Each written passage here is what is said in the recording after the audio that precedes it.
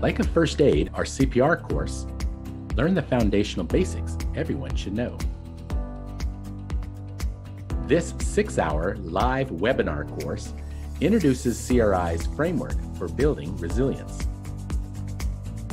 Knowledge, insight, strategies, and structures describes our learning from theory to practice and how to implement strategies into action.